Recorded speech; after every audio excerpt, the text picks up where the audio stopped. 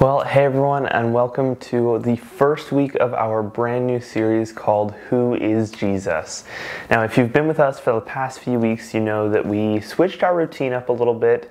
We stopped doing Orange for a little while and we started doing uh, the Bible Project videos, but we're going back to Orange curriculum this week. So instead of there just being an intro and then going to have to go to a whole separate video, we're going to go back to the structure where we do intro, then the teaching video, then outro, all in the same video. So you don't have to worry about clicking any other links, it's all just right here. All right, before I send you into today's teaching video, I'm just going to get you to grab a Bible because today we're going to be looking at Matthew 27, verse 50 to 51, and John 15, verse 15.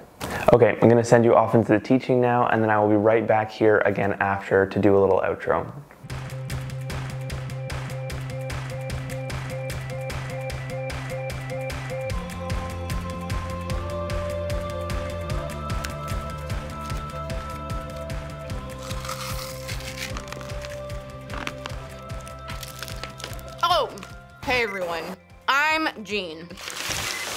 Easter is one of my favorite holidays, and it's not just because the candy is amazing. I mean, I'm gonna save this for later. I love Easter because it gives us a chance to remember all that Jesus has done for us.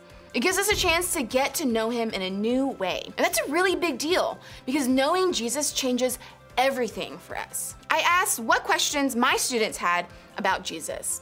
And this is what they said Is Jesus even real? Am I supposed to talk to Jesus? Is Jesus really God too? How do I know I'm close to Jesus if I can't see him?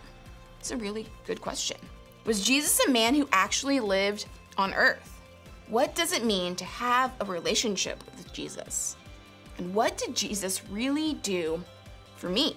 I mean, these are all such really good questions. And I've asked quite a few of these questions myself. If you've asked any of these questions before, I want you to know it's okay to ask. In fact, Jesus wants you to ask because asking is what helps you know him more. And that's really the goal of this whole faith thing. So, before we jump into discovering more about who Jesus is today, let me tell you a quick story. There was one time I decided to go on this kind of academic camp thing, and it was all these different kids from different schools that gathered together at this university, and I was the only student from my school that got accepted to go. And this was in a totally different place. I had to drive, we had to like drive three hours to get there. And the first thing we did was eat dinner. And I didn't know anybody. And so I sat in this big cafeteria all by myself, eating alone. And it was terrifying. Have you ever been there? The truth is, we all know what it's like to feel alone. Even if you're in a room full of people, when no one really knows you, it can feel like a really lonely place. You probably know what I mean. Even if you have a million friends, a group to hang out with, a constant conversation with friends on apps, 20 group texts going at the same time, a team to support you on, a, on and off the field, a group of friends to sit with at lunch, you still might deal with a feeling of loneliness. Maybe you even have a little voice in your head that tells you you don't really fit in and no one really knows you and you'll never really feel connected to someone else. Have you ever been there before? Take a second to think about it.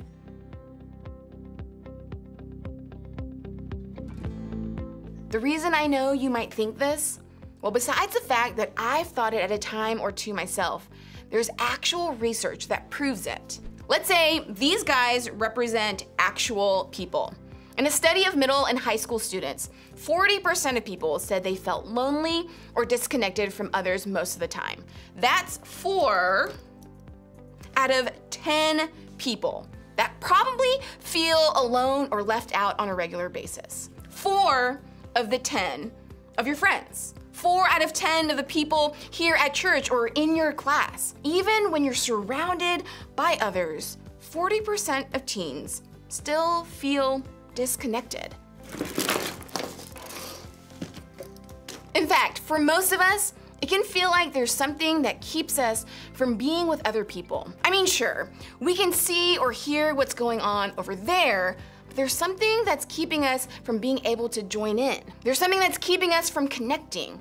There's something between us and them, and that makes us feel like we're left all alone out here. So, what if I told you that you're not alone?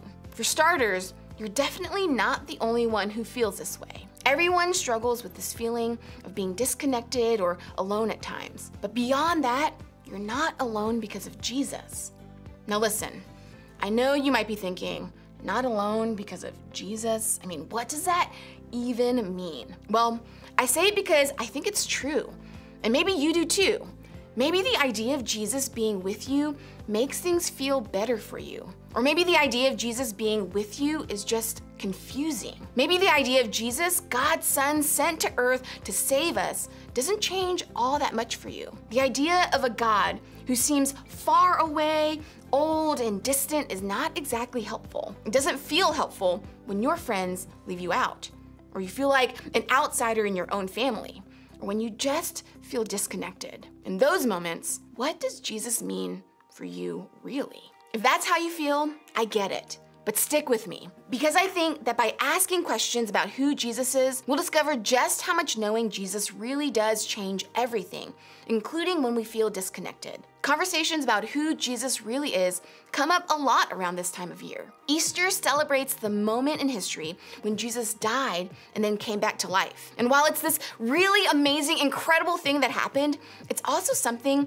that has made people ask a lot of questions along the way. Questions about who Jesus is and what his death on the cross means for us. And since it's okay to ask questions when it comes to our faith, I want to dive into some of that stuff with you today. To kick things off, we're going to jump right to that moment at the end of Jesus' life. But first, let me give you some background. Jesus lived in ancient Israel and grew up in first century Jewish culture. A huge part of life for people then was the temple. The temple was where people went to worship God. It was also the place where all the important stuff in town happened. And certain parts of the temple were only for certain people. For example, if you weren't Jewish, you had to stay on the outside. Women, even if they were Jewish, could only go so far. Jewish men could go inside, but only to certain places. Priests could go farther. You see, the whole thing was built so that people kept their distance from the center of the temple, a place called the Holy of Holies. That's where God was. Because God was so holy, people couldn't get close. So that part was sectioned off by a curtain. In fact, even the most important priests were only allowed to go behind the curtain one time per year. The point of this whole history lesson is this. The culture Jesus lived in had a lot of separation. The people literally couldn't get behind the curtain. They were disconnected. People were separated from each other. And most importantly, everybody was separated from the place where God was. And without Jesus, everybody would have stayed separated from God. Back then, people asked a lot of questions about Jesus too. Why did Jesus come to earth? What was he trying to do? Was he really the Son of God? Some people thought he was just a really good teacher. Other people thought he was a political leader who would overthrow Roman rule. Nobody expected that same Roman government would actually arrest Jesus and sentence him to death, but they did. When it was happening, it was awful. Jesus was tortured and beaten and insulted by those who were torturing him. But as this was happening, God was using this moment to do so much more. Check this out. And when Jesus had cried out again in a loud voice, he gave up his spirit. At that moment, the curtain of the temple was torn in two from top to bottom. I mean, this is a huge deal. Remember that curtain? The one that separated God from everyone else? At the moment Jesus died, the curtain was ripped apart. The days of separation were over forever. Before, only once a year could the most important priest ever really get close to God. But in a moment, Jesus changed everything. Jesus made it perfectly clear that there would never be separation between God and God's people again. It changed everything for the people back then, and it can change everything for us today too. Your friends may feel distant, but God isn't. You may feel like other people don't know you or want to be close to you, but God does. You may feel like you have to be good to be around God, but you don't. Nothing you do or don't do can separate you from God who loves you. One of Jesus' friends, a guy named John, wrote down everything about his experience with Jesus while he was on earth. John saw it all, including the way Jesus' death and resurrection changed everything. I think one of the things John tells us that Jesus said can help us understand who Jesus is to us. Take a look.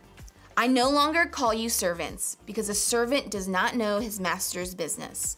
Instead, I have called you friends, for everything that I learned from my Father, I have made known to you.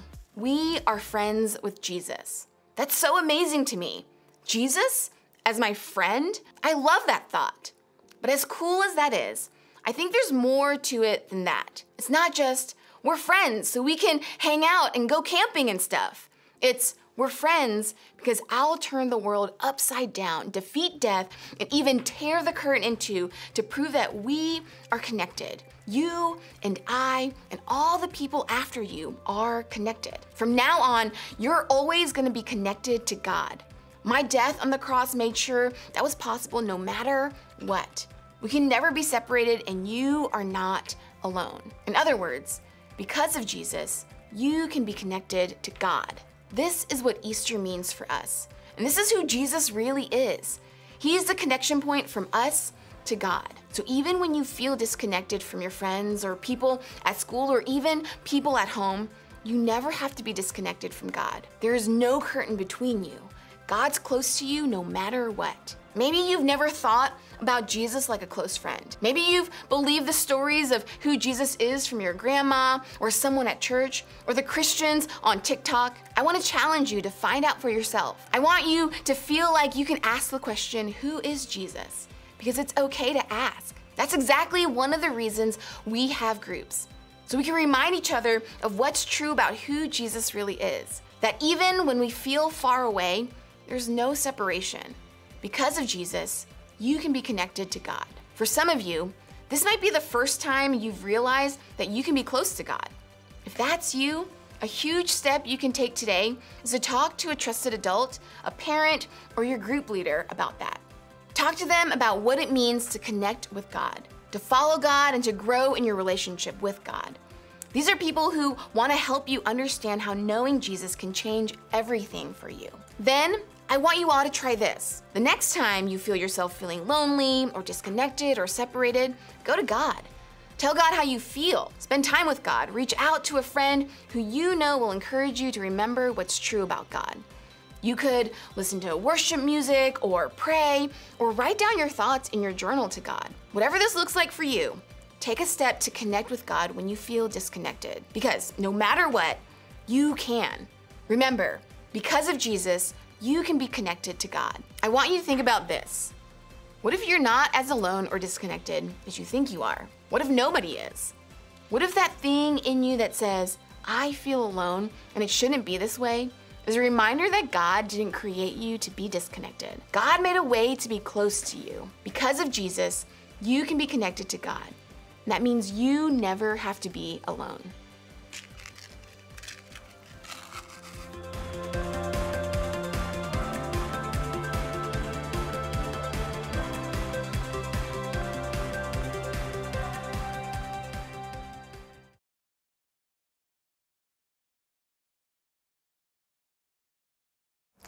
Well, welcome back. Hope you enjoyed today's video. You know, I just want to ask you one question before you head off for the day. And this is something that you can be thinking about for the next few days. What is one way that you can really connect with God? And instead of just coming up with an answer and then just moving on, I want you to actually try it out this week and see what happens. All right, everybody, that is it for week number one of our brand new series called Who is Jesus? And I hope to see you again very soon. See you guys later.